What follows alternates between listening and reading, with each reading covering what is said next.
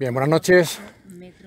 Como ya se les ha informado, a las 5 y 33 de esta tarde han bajado o han descendido los dos primeros miembros del grupo de rescate pertenecientes a la Brigada de Salvamento Minero que han venido desde Asturias. Eh, este descenso por el túnel principal les va a llevar a comenzar la excavación de la galería que les va a llevar hasta donde se encuentra el pequeño Yulen. Desde las 2 de la tarde aproximadamente, el grupo de rescate ha estado realizando una serie de pruebas y ensayos de ascenso y descenso de la jaula por la cual eh, van a ir transportados el personal de rescate.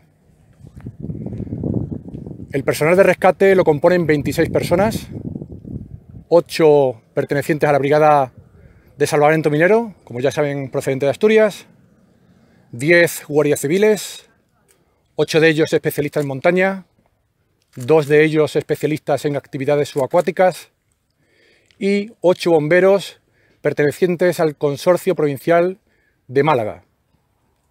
Desde la tarde de ayer se encuentra un helicóptero de la Guardia Civil estacionado muy próximo al lugar donde se están realizando los trabajos de rescate. Este helicóptero junto con la tripulación está dotada para volar de manera autónoma si fuera necesario eh, por la noche, para realizar vuelos nocturnos. Próximo a este helicóptero se encuentra habilitada otra zona para tomar tierra si fuera necesario de un helicóptero medicalizado. Como ya saben, y si no lo saben, se lo explico, el helicóptero de la Guardia Civil no se encuentra medicalizado. Está ahí estacionado por si fuera necesario su eh, utilización. Entre el grupo de rescate eh, hay un gran optimismo, muchísimo ánimo por encontrar eh, el lugar donde se encuentra Julen.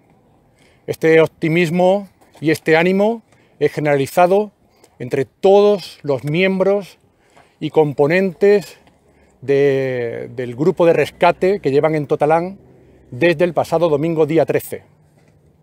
De igual manera, desde el primer día hay una UBI móvil, un vehículo UBI móvil, por si fuera necesario también.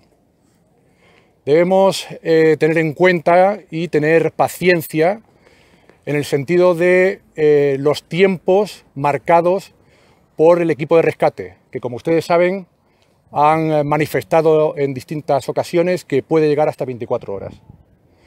Esto es lo que de momento le podemos decir. Seguirán eh, informados de cada novedad que haya, como lo están haciendo, y es lo único que puedo comentarle hasta el momento. ¿De acuerdo? Muchas gracias.